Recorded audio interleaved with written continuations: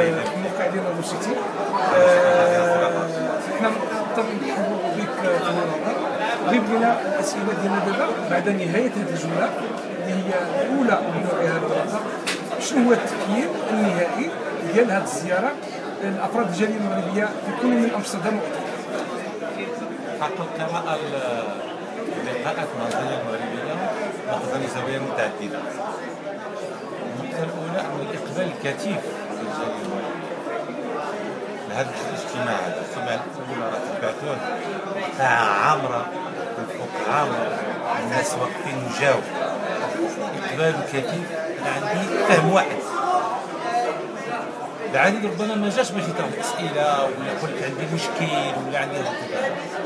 جاي يشم ريحه البلاد جاي يشوف المغرب في مسؤول المغرب وبالتالي هذا تبين ارتباط قوي جدا. ديال المغاربة ديالنا مع بلادنا الحب الكبير ان الراية ديالنا الحمراء بالنجمه الخضراء يعني فيها تتعلقوا بأن الشعار ديالنا الله الوطن الملك ساكن في القلب كل المغاربة ديال الجميع. هذه النقطه الأولى. النقطة الثانية لما تلاقيت بالشباب ديالنا قلت فاجأني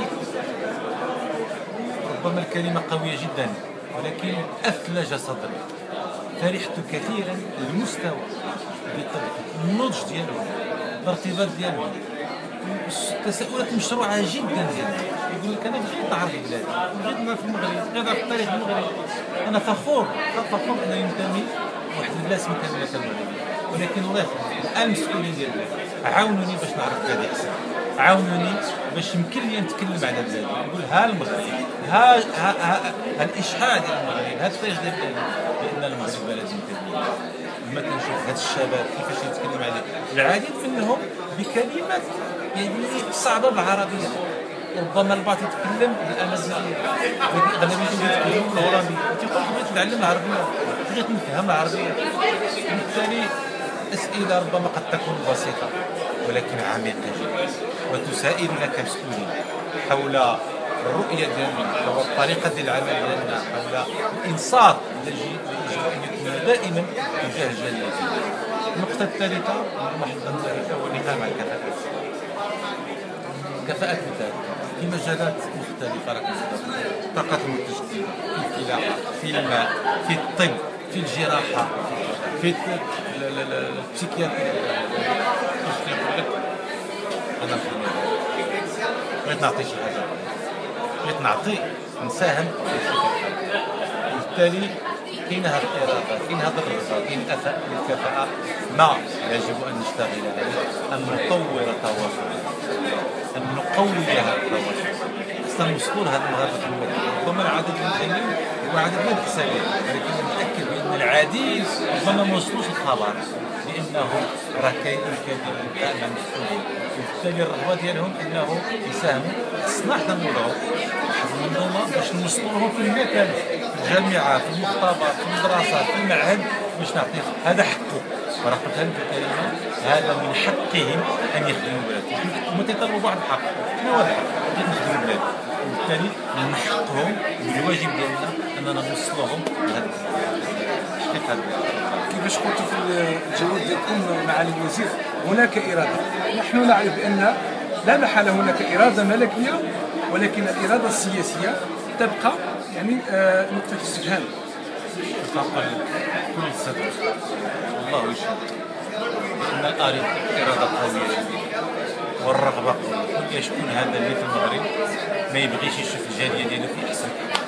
أنا ما تعرفش قول لي شكون هذا اللي في المغرب اللي ما يكرهش يشوف الجالية ديالنا كي مراكز القرار في هذا الاستقبال ما كاينش. شكون هذا اللي ما يكرهش إن المغاربة ديالنا يوصلوا؟ يعني البلاد ديالنا تستافد منهم المغاربة كلهم الشيء راه كلنا وطنيين كلنا تنبغيو البلاد وهادو راه أفراد العائلة ديالنا قول لي شي مغربي في المغرب ما عندوش أفراد العائلة ديالو في الخارج. ما كاينش. هذا اللي حداك. عندك خوتو في الخارج عندي ابد عام. بالتالي أفراد العائلة ديالنا.